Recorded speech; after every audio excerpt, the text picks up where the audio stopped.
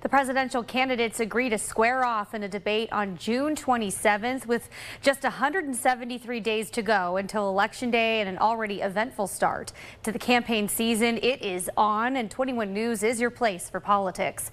Akron University Dean of Arts and Sciences and Communication Professor Dr. Mitchell McKinney is here now to talk about the inner workings of presidential debates and how this one could probably compare. Thank you so much for joining us. Good to be with you, Lindsay. Yes, debates between former President Trump and President Biden were pretty heated during the 2020 election cycle. What would you expect out of the debate this year? Well, I think that we might see somewhat similar uh, style, certainly with uh, President Trump. Uh, what uh, at that time, uh, uh, candidate Trump four years ago, very aggressive uh, he, he's actually, these debates have been called for now for several weeks, months, uh, with Trump challenging uh, Joe Biden to debates because he's eager to be on the debate stage with him. You know, uh, forecasting, suggesting that uh, Joe Biden will be uh, unable to to keep up with him, to to debate him. Uh, and so we, I think we, what we might see is very similar. Uh, uh, what was a, an aggressive, some said chaotic debate uh, four years ago. Now, how have debates played out for presidents like Biden, who face economic concerns, high inflation among voters, and Trump, who is in an unprecedented situation? He's on trial right now. How could this maybe pan out for the two of them?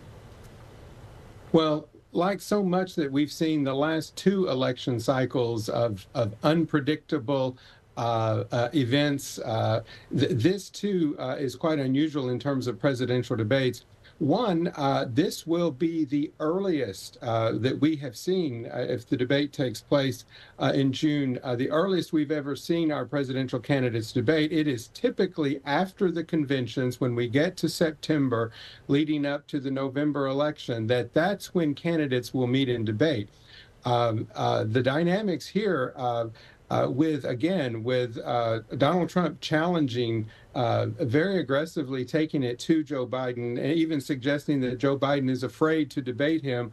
And then what we see is an incumbent president uh, in many polls trailing in the polls. It is usually the case when we have an incumbent president seeking reelection, they are reluctant to debate their challenger. They don't want to give a challenger that time and attention. But I think that uh, Joe Biden's uh, accepting uh, uh, Donald Trump's challenge today signals that the Biden campaign realizes that it is not in a position of, of, of strength at this point, that they also need uh, to demonstrate that Joe Biden uh, can take on Donald Trump. We don't know what their internal numbers are telling them, but I do have the latest numbers from the Real Clear Politics average, which shows all of the latest polls within April and May. Uh, the latest numbers show that this race is essentially in a dead heat. Trump is up 1.1 points. Trump on average garnering 46% of the vote in the polls. Biden has 44.9% support. Not all the polls are created equal. You know, Trump is up two by NBC's standard Quinnipiac, often referred to as the standard, has them in a virtual tie. So wondering, because you study these debates, do you think that the debate could sway the voters? Would it sway a number of points or just a small margin in your opinion? Well, uh, uh, typically, Lindsay, what we see in terms of the effects of debate, uh, one, the greatest effect is it, it rallies the faithful. It it really does mobilize, uh, much much like a, a a a you know a sports event where teams uh, are cheering on their chosen team.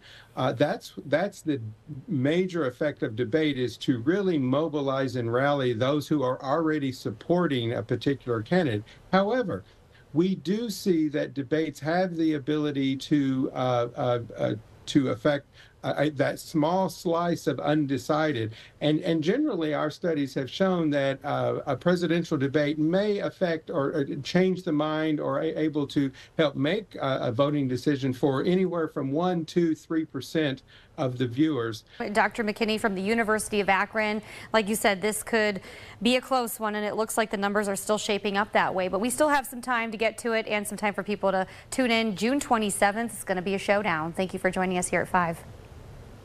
Thank you, Lindsay.